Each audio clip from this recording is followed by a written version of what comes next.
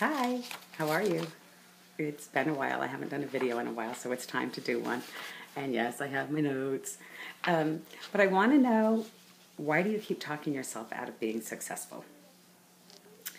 Um, you've been thinking about tossing brochures. You've been thinking about calling the beauty shops. You've been thinking about going into some of the businesses. But you're afraid someone's going to tell you no. You don't toss because you're afraid someone's going to get irritated with you or they might not like a brochure in their driveway. Um, so you just don't do anything, and then you're not getting any new customers because you're not doing anything, and then you want to give up. But why? Why? What's holding you back? You're holding yourself back. Why? Because you're scared. So what if someone gets mad? My last brochure toss um, I did earlier this week. I had a bunch of old brochures sitting here, campaigns four, five, six, seven, and you know we're in campaign ten now. But I wasn't throwing them in the garbage. I just had these books left over from when I was sick and I didn't get them out. So I put them in the bags. I put my little letter in it that says, Why is there an Avon brochure in your driveway? And I tossed them.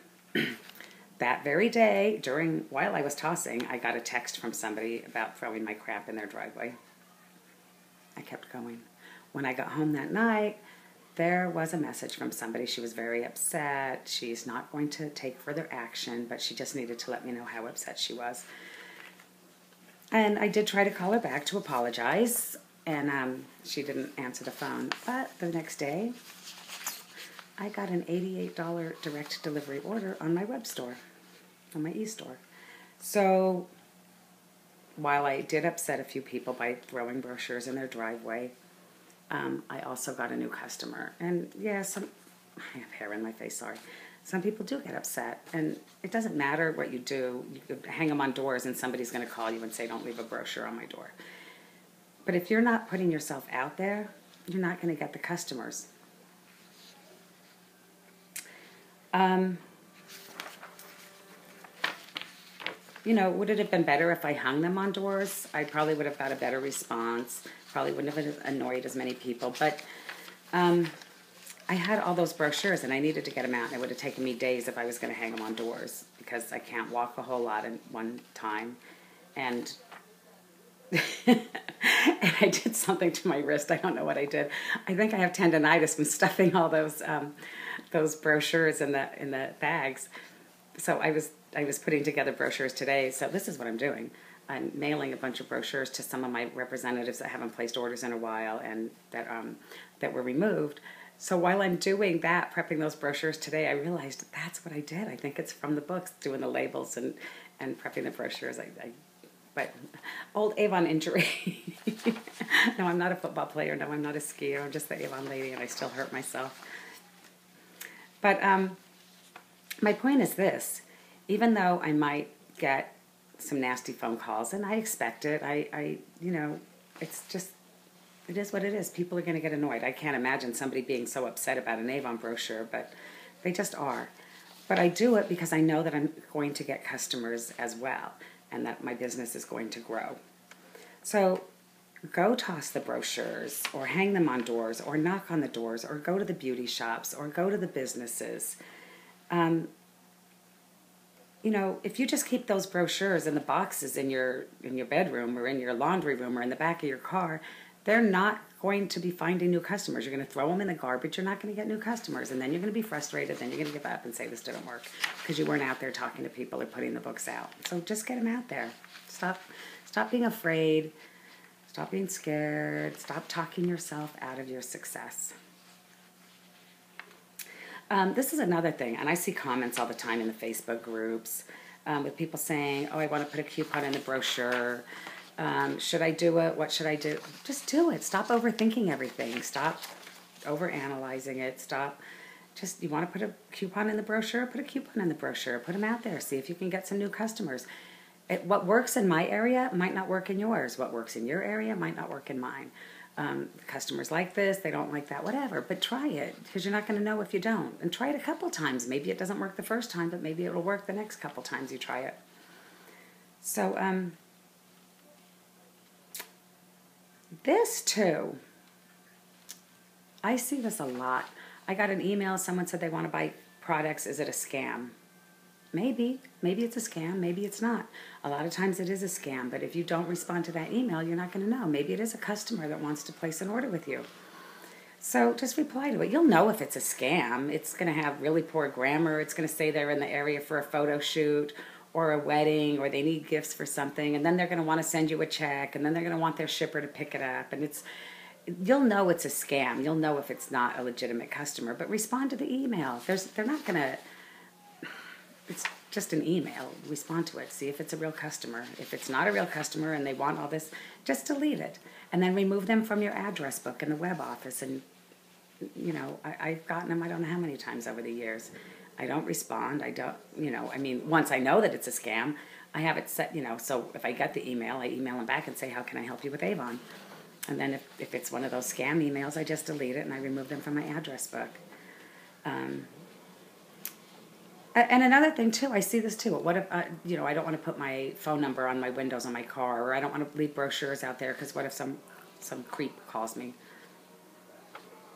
I can't say that I've ever really had a creep call me because my phone number's on my van, or because or my truck, or my car, or because I left the Avon brochures out there. I haven't gotten any weirdos, and you might. I'm not saying you won't. But if I do, I'll just deal with it. You know, I, I get customers all the time from leaving my books out there, and there's been times I've been a little like, uh, and it's some of them have been men customers, and I would have my husband or one of my sons go with me to do the delivery, or I'd have them meet me at Dunkin' Donuts, have them meet you in a public place. But I'm not gonna, you know, I'm not gonna put myself at risk for any of this. But think about it, be safe.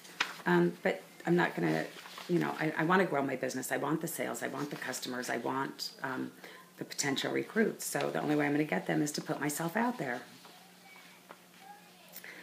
Um, just like I said, play it safe. Don't put yourself in a dangerous situation because you want to sail. Um, but stop talking yourself out of being successful. The other thing, and I, am going to say it again, and you guys are probably sick of hearing me say this, but the follow up, you know, my favorite F word, F you, follow up. Some people say, oh, I don't want to be pushy. You're not being pushy, you're offering good customer service.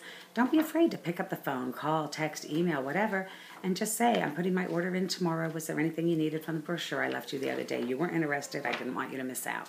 It can be very simple. They're either to say yes or they're going to say no. Mm, sorry, dry mouth here. But um, I, don't think I've ever really had anybody upset that I was calling them asking for their orders. As a matter of fact, I had customers in the past that told me the only way I'm going to get the order from them is if I call them because they're busy and Avon's not their number one priority. But if I call them, they you know might have an order for me. So um, don't be afraid of that. And the other thing is, and I thought I had an Avon brochure in front of me. Wait, no, I have one behind me. Um, the French fries on the back of the book. You know don't be afraid when you're taking the orders from the customers to say, "Oh, did you see the lipstick on the back of the book? It's only four ninety nine. Um, would you like to try one?" Or the foot cream or whatever. Avon puts those products on the back of the book for us. That's a great way to increase your order size to get the customers to try something that they haven't tried already, or maybe they, you know, maybe they do. It's the shower gels, and they're like, "Oh yeah, they are $1.99. Let me stock up." Maybe they never turn the book over and notice that on the back page but don't be afraid to um, ask for the sale. Don't be afraid to offer French fries. Like no one's to get mad at you. Don't. Do you get mad when you're at Burger King and they ask you, "Do you want fries with that?" Well, I kind of do because I get mad. Then I'm telling them yes, and I really don't want the fries. I don't need them. I don't need an extra five pounds on my hips. But but don't you know? No one like no one screams at you because you, you, you know they no one screamed at them because they offered them French fries. So I'm, I'm sure no one's going to scream at you if you say, um, "Did you see the lipsticks on the back cover? Would you like to try one? What color can I get for you?" It's just a way to um, to uh, uh again offering good customer service. Um, the other thing, and and I'm going to be finished this i didn't want this to be long and it is because i just keep talking but one of the other things too add your customers to or your contacts even they don't even have to be a customer yet but don't be afraid to put people's information in your web office address book and use the marketing emails that Avon has. Set it so that the, um, Avon sends the marketing emails to them every campaign. And the specials, all those email specials where they get free shipping or they get the free product bundle or the Earth Day thing, they get a free tote bag. Like those, e- those specials will be emailed to your, your customers and to just your contacts. Maybe they haven't ordered from you yet, but if they get those emails, they might. And sometimes, you know, I hear, oh, I'm afraid. What if they get mad? What if they don't want emails every day? They, I've never had anyone mad at me. I've had people ask me to stop sending them the emails and I unsubscribe them, um, or they unsubscribe themselves. But I get emails every day from Macy's and J.C. Penney's and Staples and and Sears. And I don't get mad. I don't. I'm never shopping at Sears again. They keep send, sending me emails every day. I either open them and look to see what the special is, or I delete them. But they're there if I want something. If I shop at Staples, I, oh, I need. I the other day I needed paper, so I clicked on the um, Staples emails to see if they had a special, and sure enough, I, there was a um, thirty dollar rebate on the paper that I needed a case of. So that was good. If I didn't get those um, emails, I wouldn't have that special. I'd be paying fifty dollars for my case of paper. So it's not you know, it's a way to increase your business and to get the sales. Stop talking yourself out of it. Stop being afraid. Stop being a wuss. Stop being a sissy. I don't want anyone to get upset with me. You know what? There's always someone that's going to be upset. But really, I think the only people that have ever been upset with me is a few from tossing brochures in their driveway. Any of the rest of the things that I've talked about here, no one's really been upset with me. And if you're that upset about an Avon brochure in your driveway, you got some serious stuff going on in your life that you got to call the Avon lady and tell her how horrible she is because she put a brochure in your driveway. Um, that, that's you know if, if somebody wants Avon and they see an Avon brochure in their driveway, they're going to call you. Those people that, that are upset, they're they're not the Avon customer anyway. They're just some cranky old bitchy person that doesn't have anything better to do than call the Avon lady and complain. It's kind of sad, but maybe that was the most exciting thing that happened in their life that day. maybe you were the highlight of their day. so um, Anyway, that's all for now. Just go out there and do something and stop talking yourself out of it. Stop talking yourself out of your success. All right? I'll talk to you guys later. Love you. Bye. Where's my off button?